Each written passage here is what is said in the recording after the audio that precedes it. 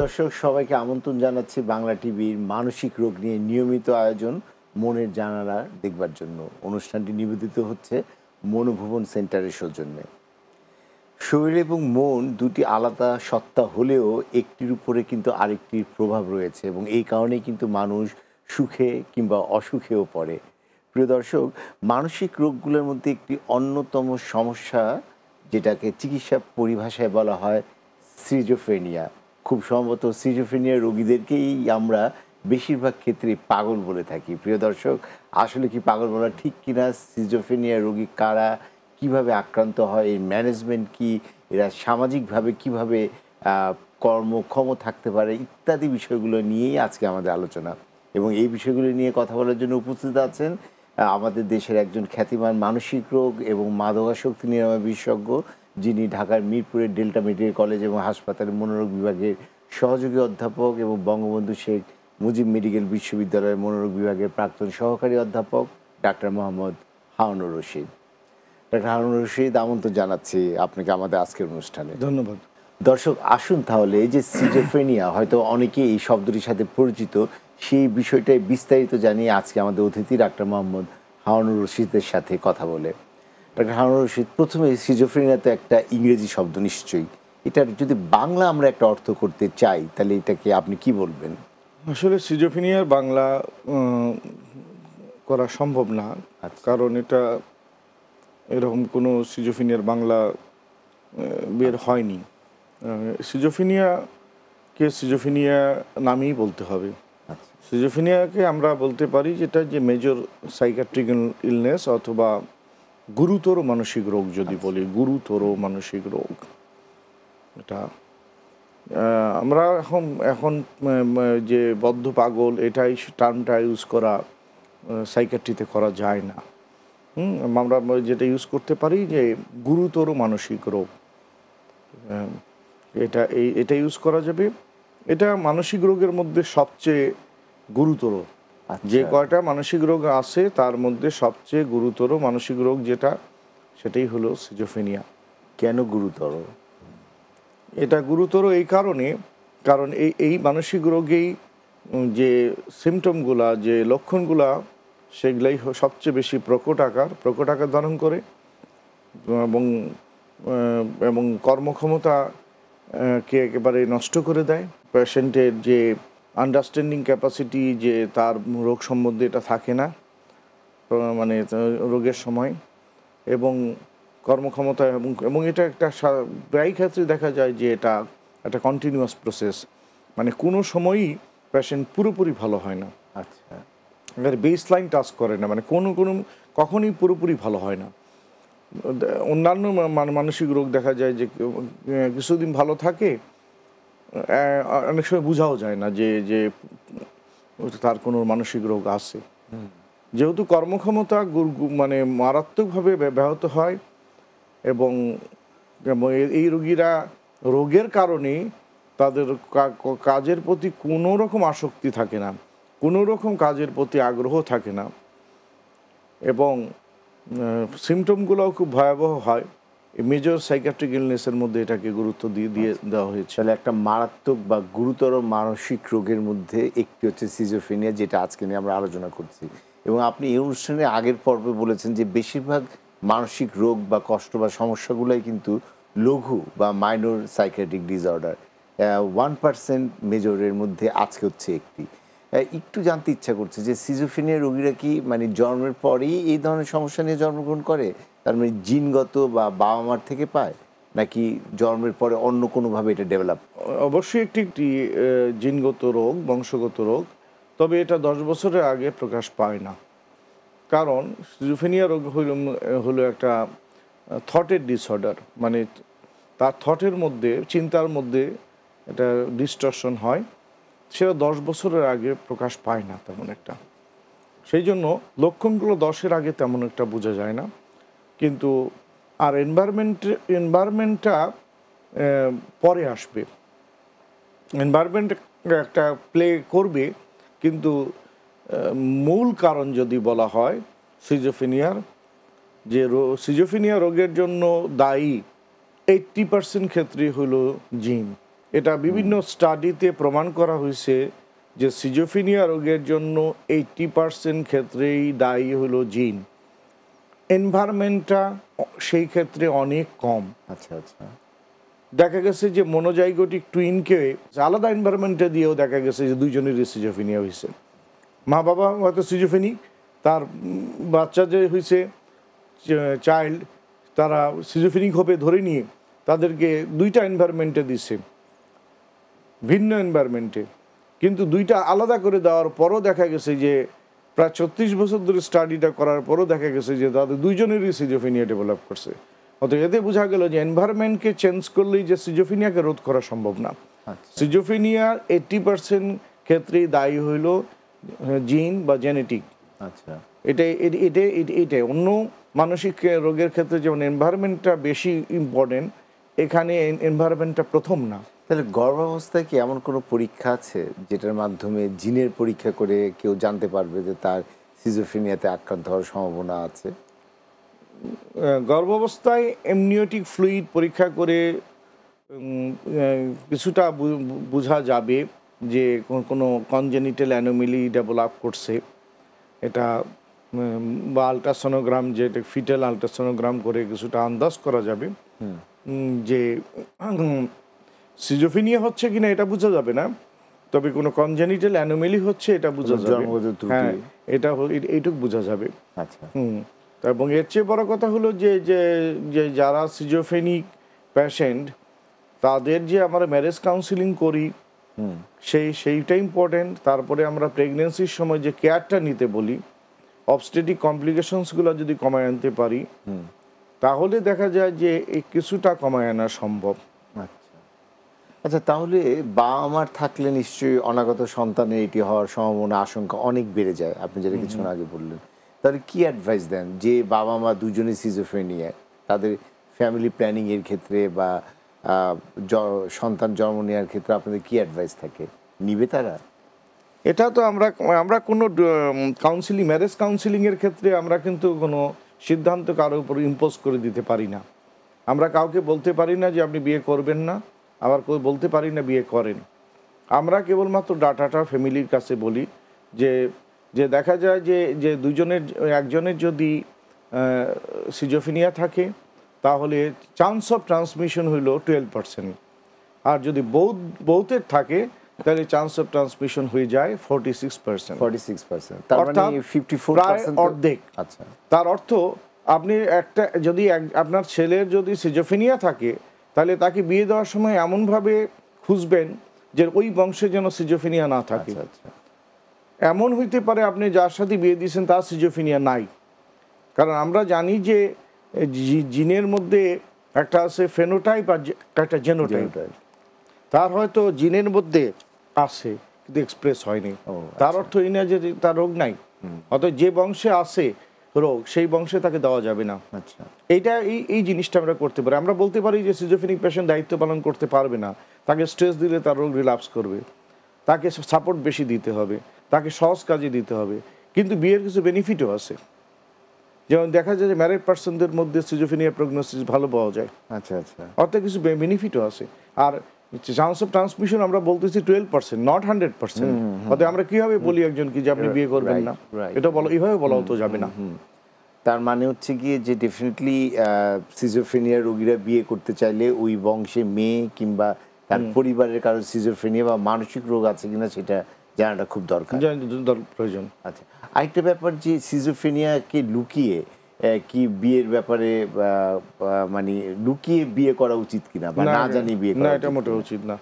এটা যদি লুকিয়ে যারা বিয়ে দিবেন দেখা যাবে পরবর্তীতে যে এটা তো বুঝতে পারবেই জানাজানি হলে ডিভোর্স হয়ে যাবে। আচ্ছা অত ডেফিনেটলি জানি ডেফিনেটলি এটা জানি আমাদের আমার কাছে যারা পেশেন্ট আছে তারা যারা অ্যাডভাইস চায় আমরা সবসময় বলি যে হ্যাঁ। যে- যে এটা আপনারা জানাবেন। আমি রিসেন্ট একটা পেশেন্টের একটা মেয়ে পেশেন্ট তার সিজোফিনিয়া আক্রান্ত তার গার্জিয়ানকে বলেছি যা আপনারা জানাবেন। আচ্ছা। তা ওনারা বলছে যে জানাইলে তো আমাদের কোনো ছেলে রাজি হবে না। বলে আপনার রাজি হোক না হোক সেটা পরের ব্যাপার আপনার জানাবেন। সৌভাগ্য হলো যে ওই মেয়েটা একটা ছেলে পাওয়া গেছে তাকে জানানো হয়েছে। আচ্ছা আচ্ছা। এবং সে জেনেই তাকে বিয়ে করতেছে। ডাক্তার হারুন রশিদ আমরা তো মাত্র আলোচনাটা শুরু করলাম আরও অনেক কিছু জানার আছে। একটি বিরতি নিয়ে নিচ্ছি। প্রিয় দর্শক, আলোচনা করছিলাম সিজোফেনিয়া নামক একটি গুরুতর মানসিক রোগ নিয়ে। আমার সঙ্গে আলোচনায় উপস্থিত আছেন বিশিষ্ট মানসিক রোগ ও মাদকাসক্তি নিরাময় বিশেষজ্ঞ ডাক্তার মোহাম্মদ হাওয়ানুর রশিদ। এই পর্যায়ে একটি বিরতিতে যাচ্ছি, কিছুক্ষণ পরেই ফিরছি। সঙ্গে থাকুন।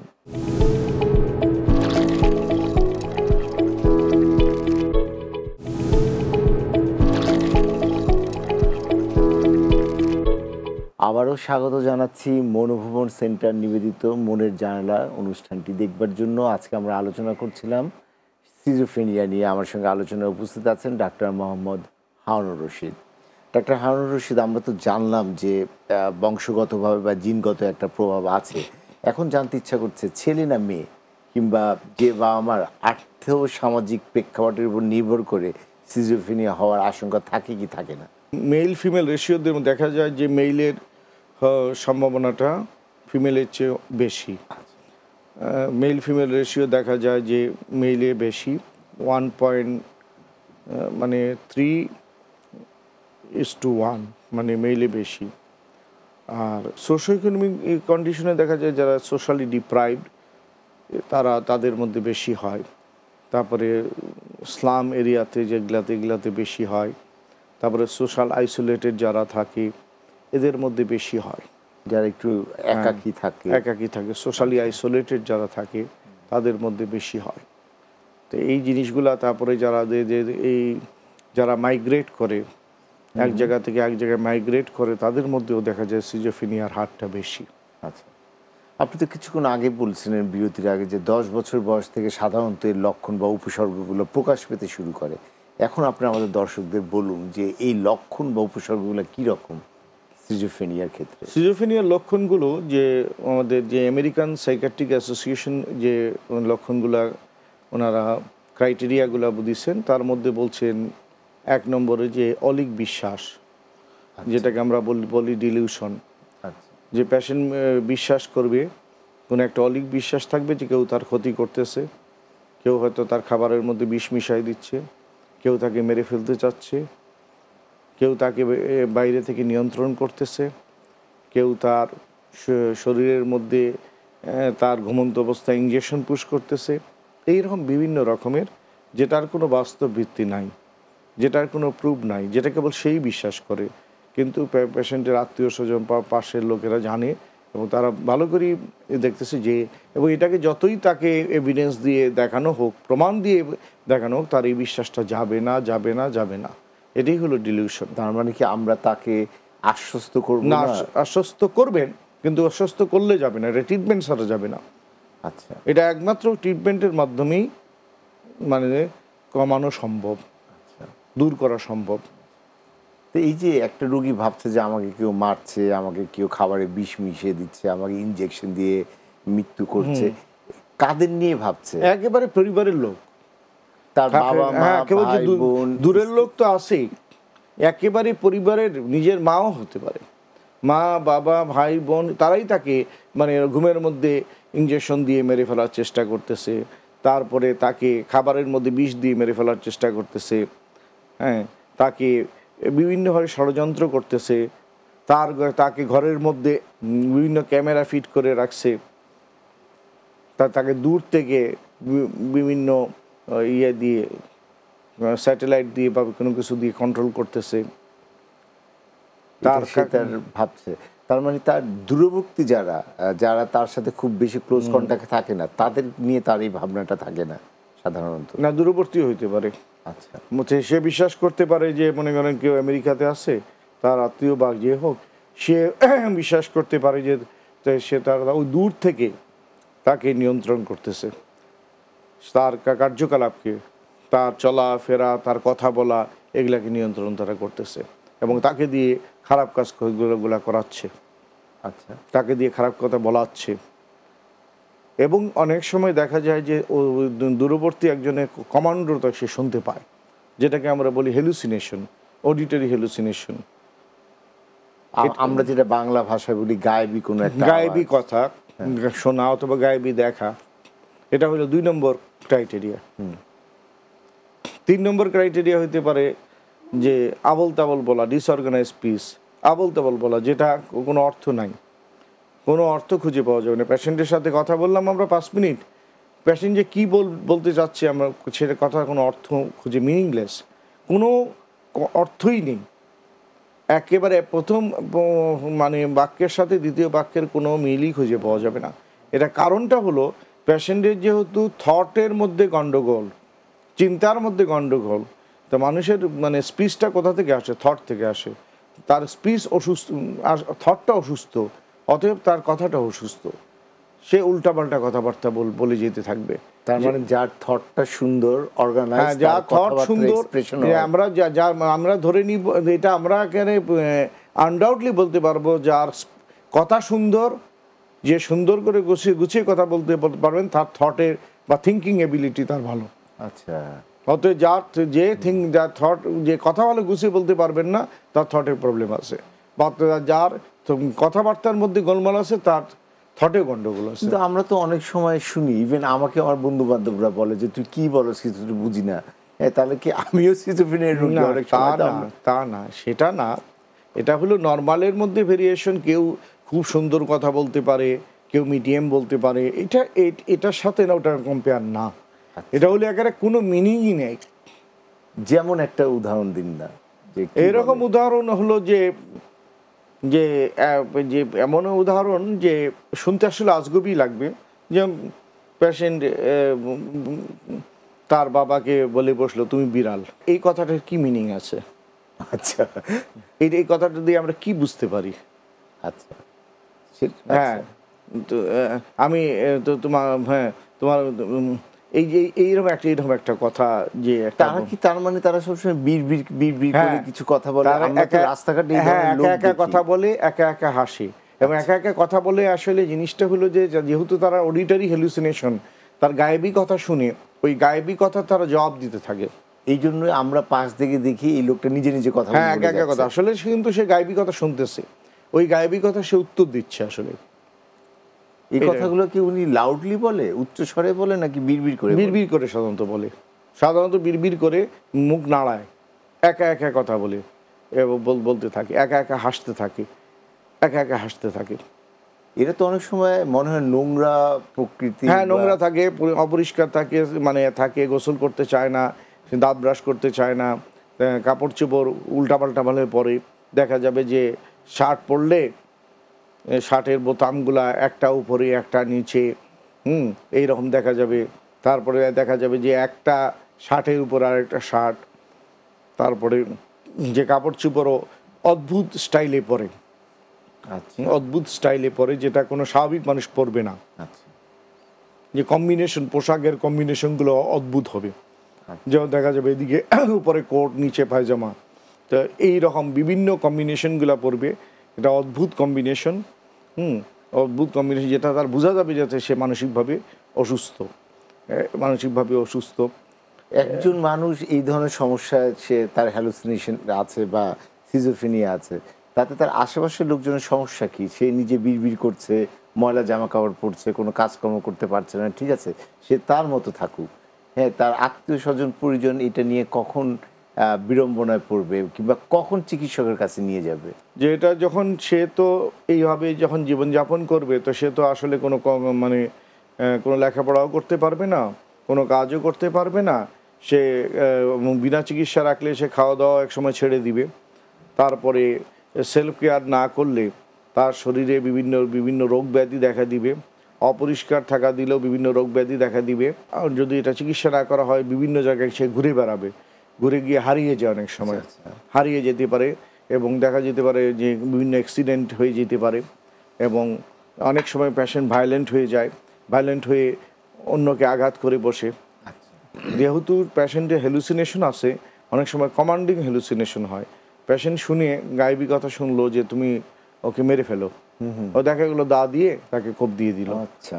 অর্থাৎ সমস্যা নাই নাই কিন্তু সমস্যা সইতে কোনো সময় লাগবে না। আচ্ছা আচ্ছা। ওটা এটা যখন পেশেন্ট ভায়োলেন্ট হয়ে যাবে তখন মানে তাকে ট্যাকেল করা এত সহজ হয়ে হয়ে যাবে না। আচ্ছা আমরা এই ভায়োলেন্ট যাতে না হয় কীভাবে আমরা ম্যানেজ করব এই ব্যাপারে নিশ্চয়ই আপনার কাছে জানতে চাইব তার আগে বিরতি নিয়ে নিই। প্রিয় দর্শক সিজোফিনিয়া নিয়ে আলোচনা করছিলাম। আমার সঙ্গে বিশেষজ্ঞ অতিথি উপস্থিত আছেন মানসিক রোগ ও মাদকাসক্তি নিরাময় বিশেষজ্ঞ ডাক্তার মোহাম্মদ হারুনুর রশিদ। একটি সংক্ষিপ্ত বিরতিতে যাচ্ছে কিছুক্ষণ পরেই ফিরছি। সঙ্গে থাকুন।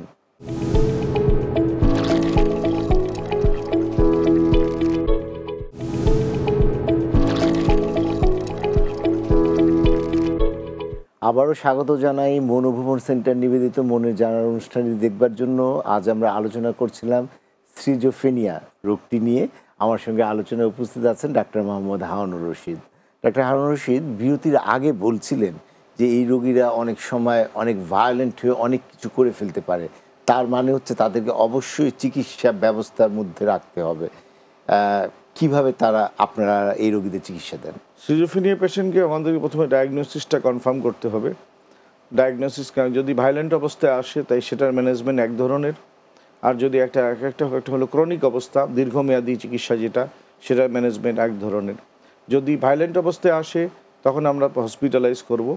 এবং হসপিটালাইজ করে দরকার হলে পেশেন্টকে যে আমার রেস্ট্রেইন করা বা বেঁধে রাখা যেটা, সেই নিয়ম, নিয়মে যে আছে এথিক্যালি যেটা, সেটা করতে হবে যেন পেশেন্ট নিজের হার্ম বা অন্যের হার্ম করতে না পারে।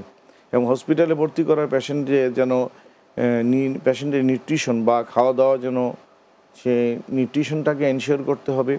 যদি মুখে না খায় তাহলে স্যালাইন অথবা এনজিটিউব দিতে হবে। পেশেন্টের বায়োল ব্লাডারের দিকে খেয়াল রাখতে হবে। ফ্লুইড যেন ইনটেক করে।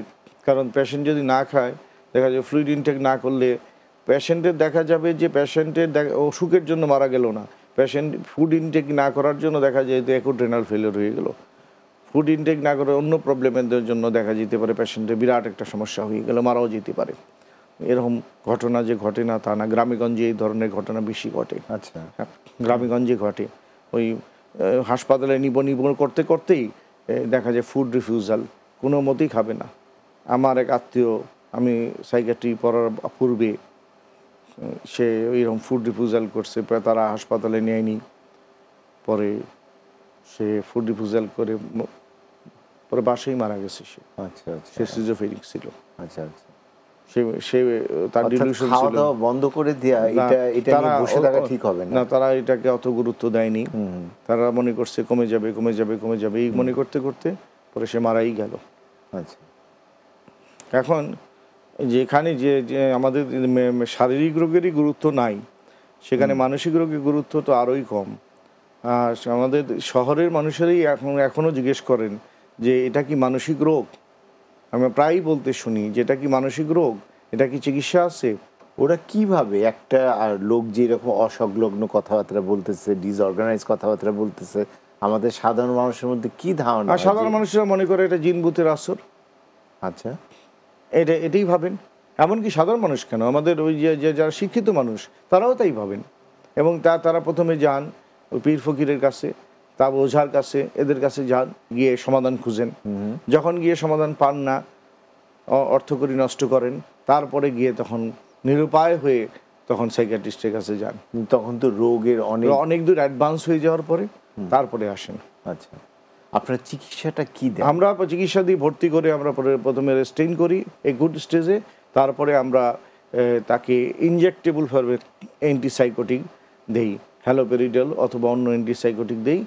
প্রথম দিকে ইনজেক্টেবল ফর্মে যেহেতু ওরাল ফর্মে খাইতে চায় না তারপরে ওরাল ফর্মে ফিরে আসে অ্যান্টিসাইকোটিক হ্যালোপেরিডল অথবা অন্য অ্যান্টিসাইকোটিক রেসপেরিডন ওলানজিপিন কুইটিয়াপিন জিপ্রাসিডন এগুলা দিই।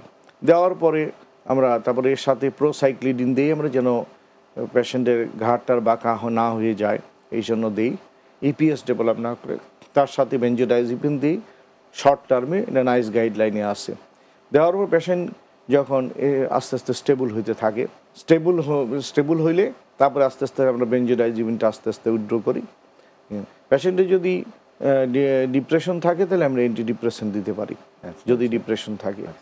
তো এইটা করি এবং পেশেন্টের ফ্যামিলিকে আমরা কাউন্সিলিং করি। ফ্যামিলি কাউন্সিলিং কাউন্সেলিং করি।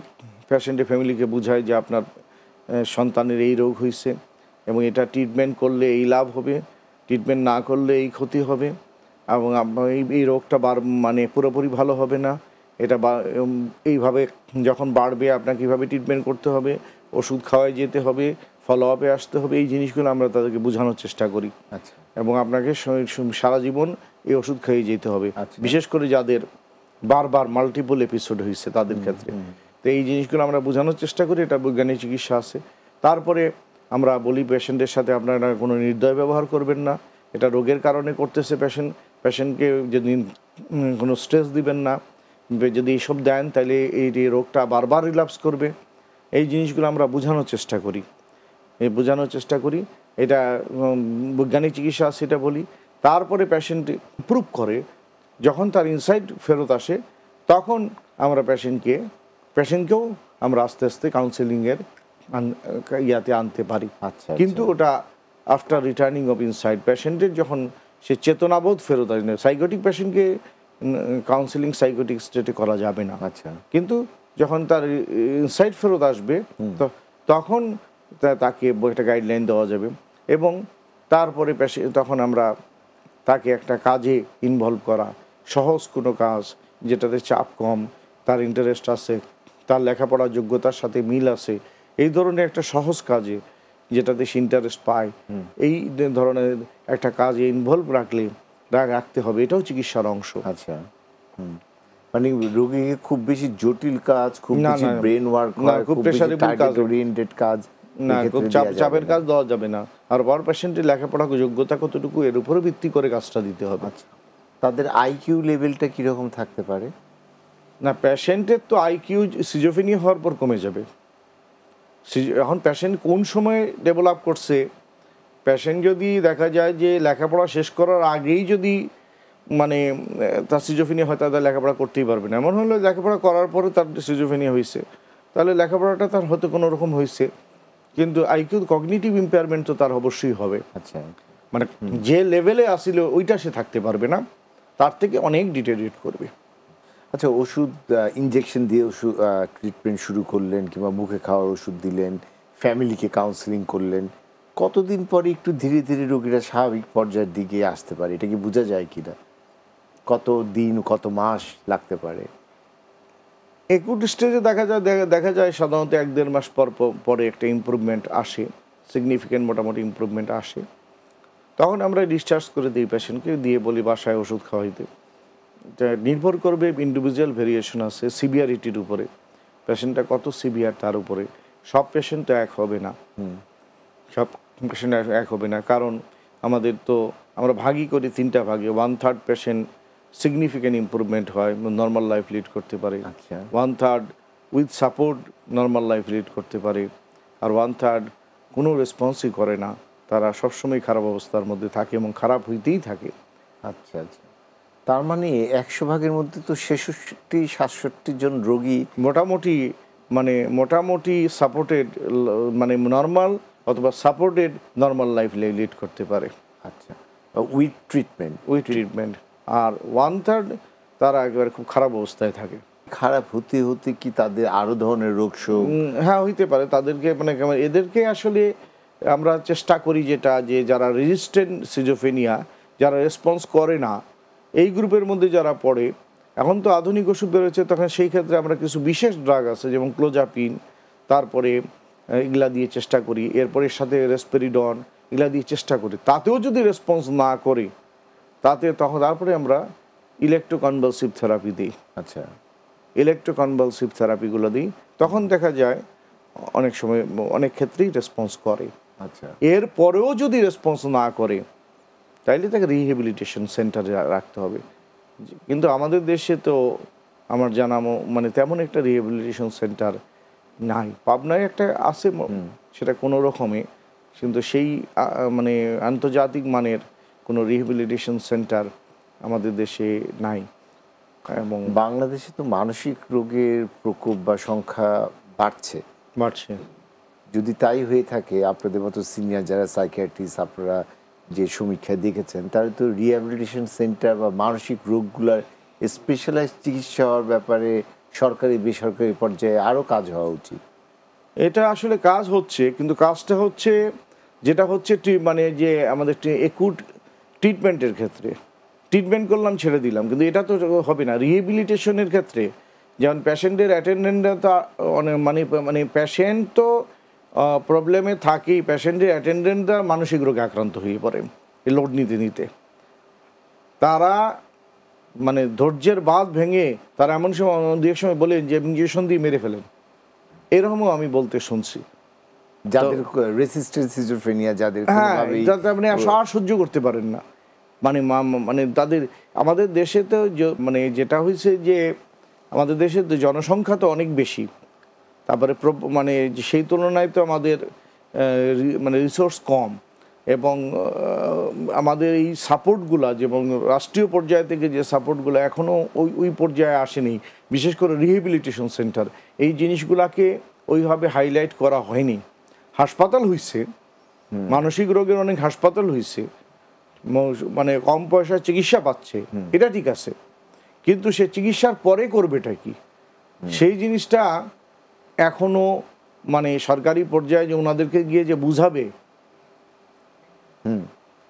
এই- যে যারা যারা এই এই বুঝানোরটা আমার কাছে মনে হয় যে যারা তুলে ধরার কথা ওনারা ওইভাবে তুলে ধরতে পারেন নাই। আমরা এই অনুষ্ঠান নিশ্চয়ই হ্যাঁ, চেষ্টা করে যাচ্ছি আমরা তো মানে আমি বলতে চাচ্ছি যে যারা মানে ওই রকম ইয়ে যারা ইয়া কর্ণধার আছেন তাদের তারা এটা আমরা আমরা তো মানে আমাদের আমরা ক্ষুদ্র হিসাবে আমরা যতটুকু বললাম যে আমার কাছে মনে হয় যে ওনাদেরকে আমি যে সরকারি পর্যায়টাকে ঠিক মতো তুলে ধরা যায় তাহলে অনেক তাহলে কারণ মানসিক হসপিটালে যে- যেহেতু বা অনেক ইয়ে পর্যায়ে ট্রিটমেন্টের ফেসিলিটি বাংলাদেশে এখন অনেক ভালো।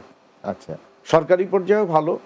হয়তো সার্ভিস দেওয়া যাচ্ছে না সেটা হলো অনেক গাফলতি আছে। আচ্ছা আমরা এই বিষয়গুলো নিয়ে একটু আলোচনা করতে চাই আপনার সাথে একটি বিরতির পরে। প্রিয় দর্শক এই পর্যায়ে একটি বিরতিতে যাচ্ছি কিছুক্ষণ পরেই ফিরছি। আমাদের সঙ্গেই থাকুন।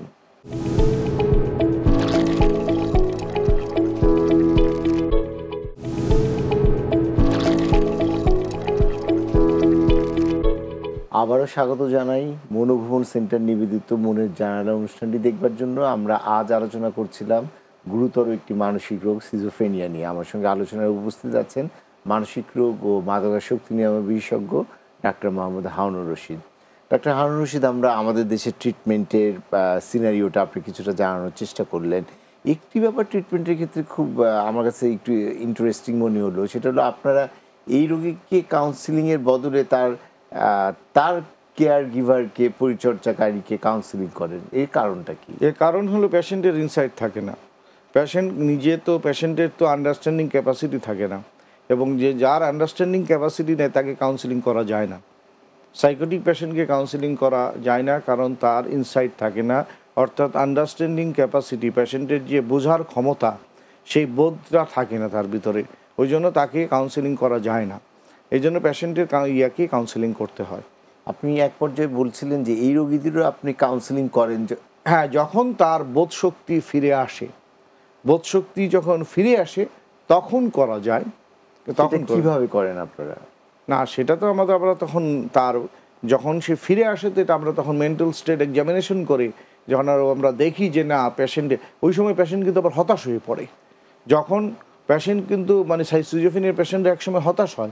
কারণ সে দেখে যখন সে বুঝতে পারে যে আমি এত বড় একটা মানসিক রোগে ভুগতেছি তখন সে ডিপ্রেশনে পড়ে যায়। আচ্ছা। ডিপ্রেশনে পড়ে ওই সময় কিন্তু সে বলে যে যে ওই সময় পেশেন্টকে বুঝাইতে হয় যে যে না এইসব রোগ নিয়েও ভালো মানে অনেকে জীবন স্বাভাবিক জীবনযাপন করতে পারতেছে। এই তখন পেশেন্টকে একটু সাপোর্ট মেন্টাল সাপোর্ট দিতে হয়। একটু আশার আলো একটু দেখাইতে হয়। আচ্ছা আচ্ছা। যে তখন হতাশ হয়ে পড়ে পেশেন্ট এবং এবং অ্যান্টি ডিপ্রেশন দিতে হয় তখন। আচ্ছা। এই যে অ্যান্টি ডিপ্রেশন দিলেন কিংবা রোগীকে হ্যাঁ বুঝালেন। আমরা একটা ডিপ্রেশনের পেশেন্টকে যা করার দরকার তখন ওই পেশেন্টকে তাই করব। আচ্ছা যখন তার ভিতরে ডিপ্রেশন আসবে ডিপ্রেশন তো কার আসে? যার চেতনাবোধ আসে যখন চেতনাবোধটা আসবে তখন সে ডিপ্রেশনে আসবে। যদি যখন যখন যখন সে যে তার চেতনাবোধই থাকবে না তখন তো সে হতাশায় থাকবে না। তার তো সে- তো খুব বেহুশ অবস্থায় আছে। আমরা সাইকোটিক স্টেটকে বলব বেহুশ অবস্থা। অর্থাৎ সে একটি বাস্তব জগৎ থেকে একেবারে ডিটাচড অবস্থায় আছে। আচ্ছা। ডক্টর হারুন রশিদ একটু জানতে চাচ্ছি যে এই যে সিজোফিনিয়া রোগীদের যে এত দীর্ঘ সময় ওষুধ দিলেন ইনজেকশন দিলেন আমাদের রোগীরা তো প্রত্যেকটা ওষুধ দেওয়ার ক্ষেত্রে বলেন যে এই রোগে এই রোগ এই ওষুধের কোনো সাইড ইফেক্ট আছে কিনা বেশি দিন খেলে কোনো সমস্যা হবে কিনা? কিন্তু বললেন যে এই ট্রিটমেন্টটা অনেক লম্বা সময় ধরে দিতে হয়। আসলে কি সাইড ইফেক্ট আছে কিনা? বোঝা যায় কিনা? ম্যানেজমেন্ট কীরকম এই সাইড ইফেক্টের প্রতিটা ওষুধেরই সাইড ইফেক্ট আছে। এটা যদি বলা হয় সাইড ইফেক্ট নাই এটা মানে মানে সত্য না। কিন্তু সাইড ইফেক্টের আমাদের দেশের মানুষেরা সাইড ইফেক্টের ব্যাপারে আমি যতটুকু বুঝছি যতটা মানে সচেতনতা দেখান কিন্তু বাস্তবে ওনাদের কার্যকলাপে সচেতনতার প্রকাশ পায় না। আচ্ছা। এটা আমার এখানে আমি এটা এটা প্রুভ করতে পারব। আমি এটাকে প্রুভ করতে পারব। আমি এটা ওই প্রুফ দিতে পারব। যেমন প্রতিটা ওষুধের সাইড ইফেক্ট আছে। যেমন ওই একটা প্যারাসিটামল সেটারও সাইড ইফেক্ট আছে। এটা হেপাটোটক্সিক লিভারে হ্যাঁ লিভারে লিভার একটা সামান্য প্যারাসিটামল এটা কি লিভার একটা লিভার কি আমাদের জন্য কম ইম্পর্টেন্ট এবং এটা শুধু তো আমাদের দেশে না হ্যাঁ। সারা বিশ্বের সব হ্যাঁ, সব জায়গাতে। এখন আমাদের দেশের বেশিরভাগ মানুষ তারা করতেছেন তারা ওষুধ খান হইলে ডাক্তারের রেজিস্টার্ড ডক্টরের পরামর্শ ছাড়া। তারা গিয়ে গিয়ে ফার্মাসিতে গিয়ে নিজের নিজেরা ওইখানকার যারা আছে যারা ফার্মাসিতে বসেন তাদের কাছ থেকে নিয়ে নির্দ্বিধায় তারা ওষুধ খাচ্ছেন। এইখানে তাদের কোনো ভয় আমি লক্ষ্য করিনি। সেখানে তারা না সাইড ইফেক্ট আছে না সাইড না। মোটেও চিন্তা করেন না।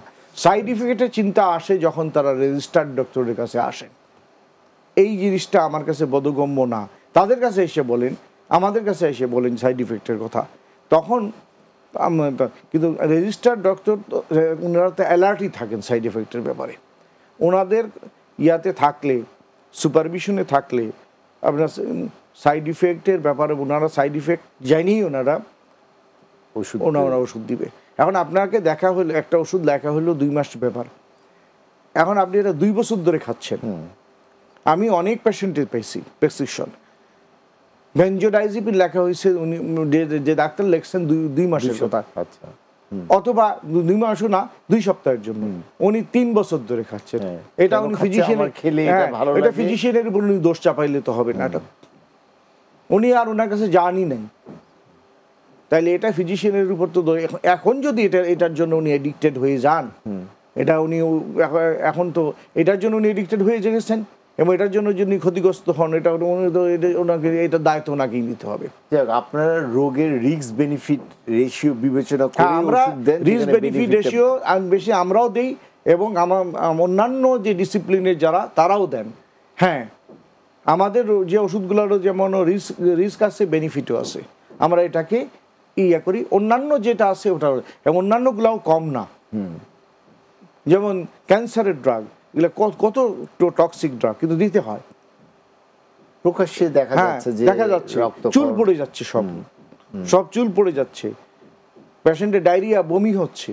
তাও তো পেশেন্ট কিন্তু মানে প্রায় মানে আদামারও হয়ে যাচ্ছে। মানে লোড না দিতে পারে। কিন্তু তারপরেও তো দিতে হচ্ছে। ডাক্তার হারুন রশিদ সিজোফেনিয়া রোগীদের এই এই মানসিক রোগ ছাড়া আর অন্য কোনো মানসিক রোগ বা অন্য কোনো শারীরিক রোগ থাকতে পারে কিনা? যদি থাকে, তাহলে তো বোধহয় এটা একটু জটিল হয়ে গেল। ধন্যবাদ। এটা তো থাকতে পারেই। সিজোফেনিয়ার সাথে অন্য মানসিক রোগ যেমন ওসিডি থাকতে পারে। সিজোফেনিয়া হওয়ার আগে স্ট্রেস অনেক সময় অনেক সময় ওসিডি থাকে বা সূচিবায়ী রোগটা থাকে, পরে সিজোফেনিয়া ডেভেলপ করে। দেশে এদের অনেক, এদের সিজোফেনিয়ার পরে অনেক সময় ডিপ্রেশন ডেভেলপ করে বা বিষণ্ণতা। এই দুইটাই বেশি কমন তাছাড়া অ্যাংজাইটি পেনিক অ্যাটাক এগুলাও থাকতে পারে। তারপরে শারীরিক রোগের মধ্যে সিজোফেনিয়া রোগদের ডায়াবেটিস মেলাইটাস হাইপার টেনশন আচ্ছা। ওবিসিটি তারপরে ইস্কিমিক হার্ট ডিজিজ তারপরে হলো লাং ক্যান্সার লাংসের সমস্যাগুলাই পালমোনারি টিউবারকুলোসিস এইসব এইসব কমন সিওপিডি এগুলা কমন আচ্ছা। এগুলা কারণ আছে কারণ সে- এরা দেখা যায় যে সিজোফিনিয়ার পেশেন্টদের তো লাইফস্টাইল থাকে অন্যরকম। হ্যাঁ, দুই নম্বর সেই লাইফস্টাইলের জন্য অসুবিধা হয়। খাওয়া বে- খাওয়া দাওয়াটা অনিয়মিত করেন হাঁটাচলা করেন না নিয়মকানুন মানতে পারেন না। এইসব কারণে বিভিন্ন কারণে ডায়াবেটিস হলে নিয়ম মানতে পারেন না হাইপার টেনশন হলে নিয়ম মানতে পারেন না। ওষুধগুলোও কিছু ওয়েট বাড়ায়। আচ্ছা। এই বিভিন্ন কারণে এগুলাকে ব্যালেন্স করতে না পারার জন্য তারা এইসব প্রবলেমে পড়েন এবং প্রবলেমগুলোকে যেগুলো সলভ করতে পারেন বা সিগারেটও বেশি খান। সিজোফিনিয়াল পেশেন্টরা তো সিগারেটের কারণেও তো লাংসের ক্ষতি হয় ইস্কিমিক হার্ট ডিজিজ হয়। তো এই কারণে দেখা যাচ্ছে যে তাদের শারীরিক রোগগুলো এগুলো এইসব রোগ সাথে হয় এবং এতে করে তো পেশেন্টের কি মরার উপর খরার ঘা হয়। মানে উভয় মানে বিরাট সমস্যা একটা তৈরি হয় এবং এতে লঞ্জিভিটি কমে যায়। আচ্ছা। এই ধরনের রোগীদের সঠিক চিকিৎসা নেওয়াটা খুবই দরকার। না নিলে আপনি অনুষ্ঠানের মাঝে বলছিলেন যে তারা ভায়োলেন্ট হয়ে যেতে পারে এবং নিজের এবং পরিবারের অন্যদের ক্ষতি করতে পারে। এবং একটি আশার কথাও শুনিয়েছেন যে সিজোফেনিয়া রোগীরা উইথ ট্রিটমেন্ট ট্রিটমেন্টের টু থার্ড মোটামুটি ভালোই থাকতে পারে। তারা স্বাভাবিক জীবনযাপনে হ্যাঁ, স্বাভাবিক জীবনযাপন মোটামুটি করতে পারে। ডাক্তার হারুন রশিদ অনেক অনেক ধন্যবাদ জানাচ্ছি যে গুরুতর একটি মানসিক সমস্যা সিজোফেনিয়ার সামগ্রিক বিষয়টা নিয়ে আজকে আমাদের সাথে আলোচনা করলে। আশা করি আমাদের দর্শকরা এই বিষয়ে সম্যক জ্ঞান পেয়েছে। আপনাকে অনেক ধন্যবাদ আপনার ব্যস্ততার মধ্যে আমাদের সেটে আসার জন্য এবং এই বিষয়ে কথা বলার জন্য। আপনাকে ধন্যবাদ।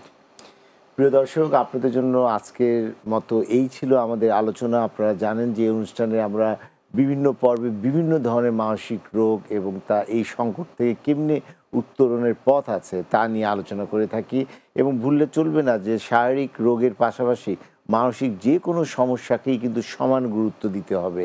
এই এই কথাটি কিন্তু আমরা অনুষ্ঠানে বিভিন্ন পর্যায়ে বলে এসেছি এবং আপনারা অনুষ্ঠান সম্পর্কে আপনাদের কোনো প্রশ্ন, জিজ্ঞাসা, কোনো মতামত থাকলে অবশ্যই আমাদের সাথে যোগাযোগ করতে পারেন। টিভি স্কলে যে মোবাইল নম্বর আছে সেই নাম্বারে কিংবা আপনারা মনোভবন সেন্টার বলে ফেসবুকে লগ ইনও করতে পারবেন। লগ ইন করে আপনারা আপনাদের কোনো প্রশ্ন বা অনুষ্ঠানে বিভিন্ন পর্বগুলো দেখতে পারবেন, আশা করি দেখবেন। এছাড়া আপনারা মেইল করতে পারবেন আমাদের স্কলের যে ইমেল অ্যাড্রেস আছে সেখানে। আশা করি অনুষ্ঠানগুলো দেখতে থাকবেন এবং আপনারা সুস্থ থাকবেন শারীরিক এবং মানসিকভাবে। সবাইকে ধন্যবাদ। আগামী অনুষ্ঠান দেখার আমন্ত্রণ জানাচ্ছি। আল্লাহ হাফেজ।